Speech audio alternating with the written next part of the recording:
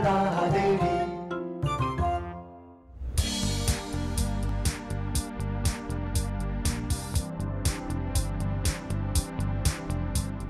주위에 이런 사람 있으세요? 겉으론 참 튼튼해 보이는데 알고 보면 탱수인 사람 말이에요.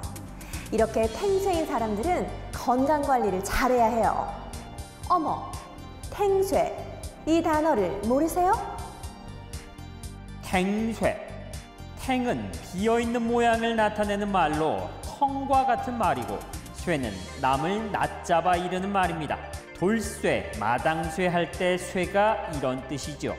그래서 탱쇠는 속이 텅 비어있는 사람. 다시 말해서 겉으로는 튼튼해 보이지만 속으로는 허약한 사람을 뜻한다는 거 알아두시면 더욱 좋습니다. 탱쇠. 참 재미스러운 우리말이지요. 특별히 교양 있어 보이고 싶으면 이런 우리말을 써보세요.